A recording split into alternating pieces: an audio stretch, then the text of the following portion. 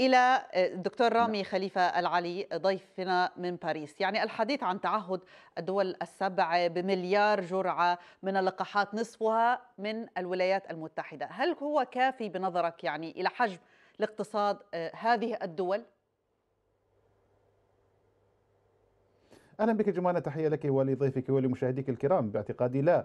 كما أشار ضيفك هنالك حاجة ماسة إلى تعاون دولي غير متوافر حاليا ولم يكن متوافرا منذ انطلاق الجائحة. نحن فيما يقارب العام ونصف العام أظهرت الدول كثيرا من الأنانية سواء فيما يتعلق بمعالجة هذه المسألة من الناحية الاقتصادية من تأمين المستلزمات الطبية وصولا إلى إنتاج اللقاح وتوزيعه على الدول الكبرى وتجاهل الدول الفقيرة ودول العالم الثالث. وبالتالي الآن الذي يدفعنا إلى مزيد من التفاؤل آه، والثقة بما يعد به قادة الدول الكبرى، لا أعتقد أن هنالك ثقة بأن هذه الوعود سوف تجد طريقها إلى التنفيذ، أضف إلى ذلك أن الآن الحقيقة الشعور بأن مسألة اللقاحات تستخدم كأداة سياسية وكاداه للضغط السياسي يمكن أن تستخدم ضد بعض الدول، أيضا هنالك مسألة تؤثر على مسألة كورونا وعلى قضايا أخرى متعلقة بها وهي مسألة التنافس الدولي وخصوصا ما بين الولايات المتحدة الأمريكية والصين والتنابز الحقيقة بالاتهامات المتبادلة شهدناه خلال العام ونصف الماضي وباعتقادي أنه سوف يستمر لأن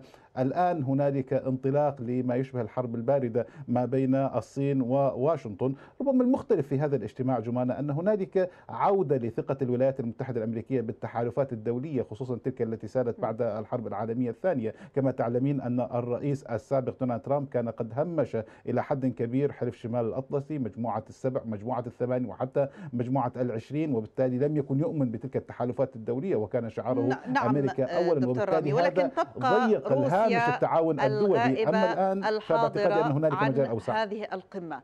كيف يمكن أن ننظر لوجهة الغرب تجاه روسيا من خلال هذه القمة؟